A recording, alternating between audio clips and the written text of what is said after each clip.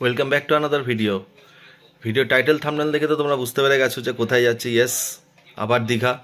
খুব মজা হবে, খুব আনন্দ করব। লেটস কন্টিনিউ চলো ভিডিও দেখতে থাকো।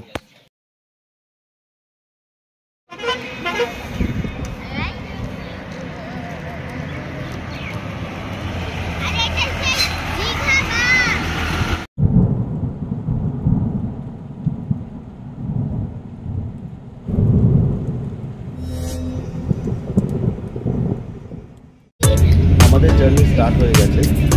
খুব এক্সাইটিং ছিল জার্নিটা এবং খুব কমফোর্টেবলি আমরা পৌঁছে গেছি। ফার্স্ট জার্নি খুবই ভালো ছিল কমফোর্টেবল ছিল। তো আমাদের আগের থেকে হোটেল বুক করা ছিল। সেই কারণে কোনো প্রবলেম হয়নি। ডিরেক্টলি আমরা হোটেলে উঠে পড়ি ডাইরেক্ট হোটেলে দেখা হবে।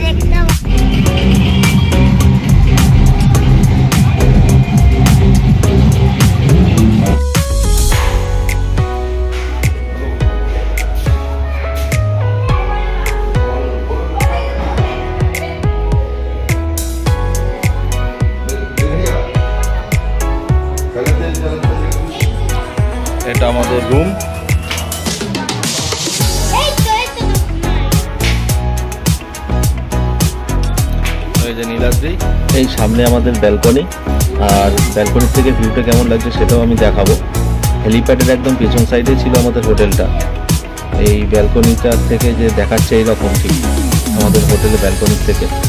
আমাদের রুমটা যেটা রুমের ব্যালকনি থেকে, ওই পেছনে এটা দেখতে পাচ্ছেন ঘেরা জায়গাটা, ওটা হচ্ছে হেলিপ্যাড আর এই সব অন্য হোটেল ছিল আর।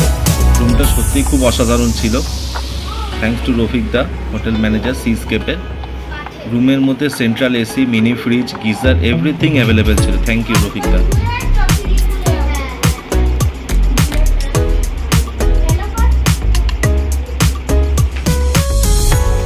আর এই আমরা রুম থেকে বেরিয়েই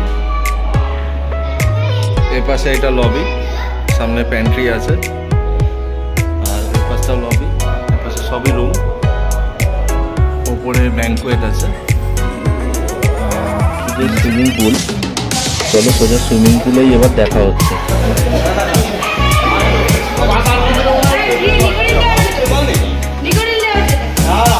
ক্লোরিন ক্লোরিন দেওয়া থাকে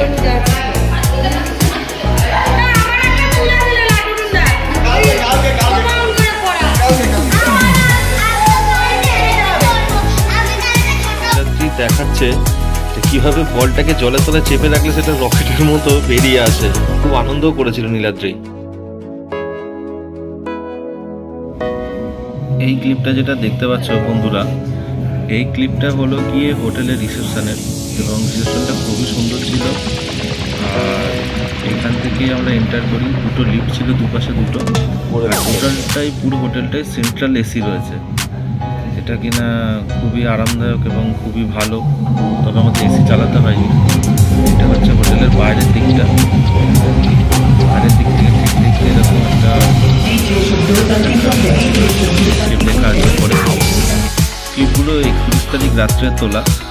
এরপর দেখা হবে ডাইরেক্ট ছাদে। এই যে অলরেডি নিউ ইয়ারের জন্য বাজি কাটা স্টার্ট হয়ে গেছে। মোটামুটি দীঘাতে গেলে আমি দেখেছি এর আমি দীঘাতে থার্টি ফার্স্ট কাটিয়েছি। খুবই মজাদার খুবই আনন্দদার বিশেষ করে থার্টি ফার্স্ট নাইটে মোটামুটি আধ ঘণ্টা আগের থেকে, আধ ঘণ্টা তিরিশ মিনিট আগের থেকে বাজি ফাটানো স্টার্ট করে দেয়। এখানে তরফ থেকে ফাটায় সবাই, নিজে নিজে পার্সোনালভাবে সবাই বাজি ফাটায়। বিভিন্ন জায়গায় বিভিন্ন ফাংশন হয় প্রোগ্রাম হয়, আপনারা দেখতেই পাচ্ছেন এখানতে।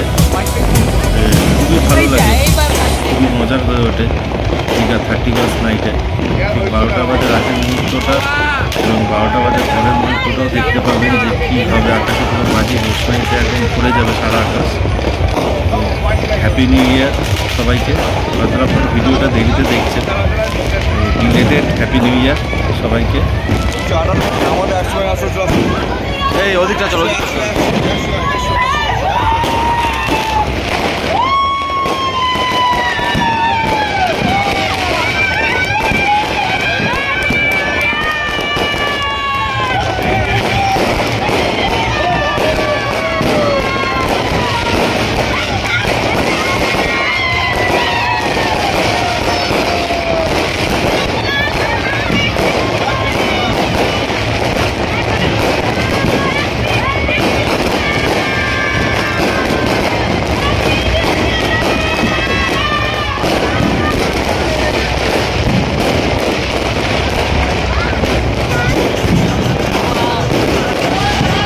Happy New Year to all.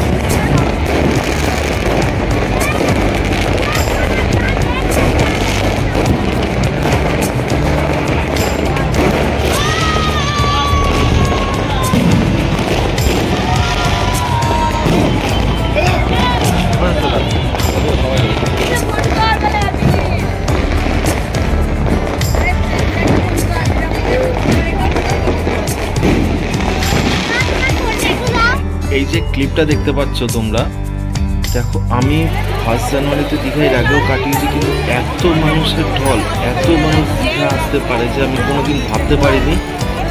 আমরা এত ভিড় ছিল যে আমরা বিচে পর্যন্ত নামতে পারিনি। খুবই প্রবলেম হয়েছে, একটা ছোট অ্যাক্সিডেন্টও হয়ে গেছে। এত ভিড় এত ভিড়।